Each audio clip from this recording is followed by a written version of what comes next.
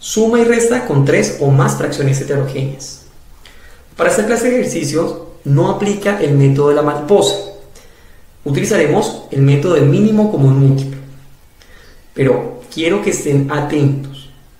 Si quieren, que pausen, vuelvan a ver esta partecita porque realmente muchos estudiantes se equivocan en algunos pasos.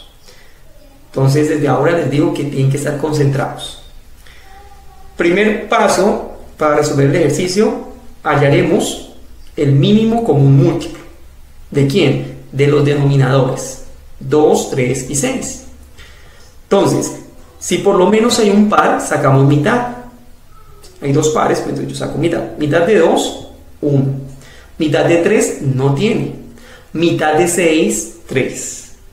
Ahora saco mitad, pero no hay números pares. Entonces digo, ah, listo, entonces no saco mitad, sino saco tercera. Tercera de 3, 1 y tercera de 3, 1. La idea del mínimo común múltiplo es que en la última fila me queden unos. Y ahí ya hemos terminado de hallar el mínimo común múltiplo. Entonces, 2 por 3 me da 6.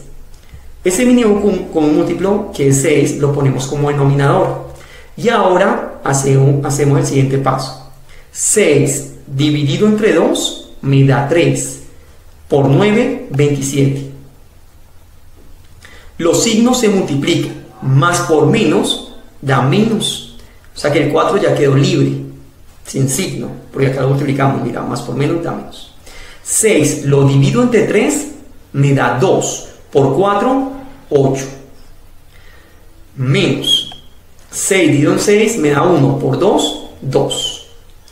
Ahora, 27 menos 8, 19 menos 2 me da 17 sextos. Y hemos resuelto el ejercicio. Ahora vamos a hacer el ejercicio, pero ya con 4 fracciones. Entonces, como primera medida, mínimo con un múltiplo de 4, 8, 6 y 3. Entonces, hay números pares, entonces sacamos mitad. Mitad de 4, 2, mitad de 8, 4, mitad de 6, 3 y mitad de 3 no tiene.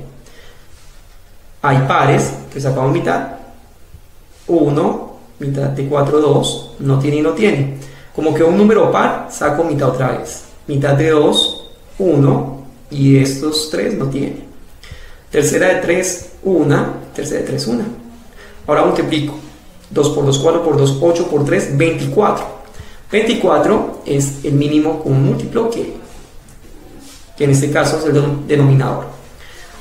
24 lo divido entre 4 me da 6. 6 por menos 1 da menos 6. 24 dividido en 8 me da 3. Por 6, 18. Se conserva el positivo.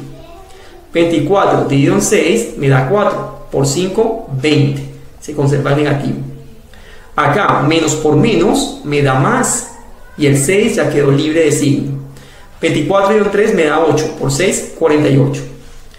Operamos lo de arriba y me da 40.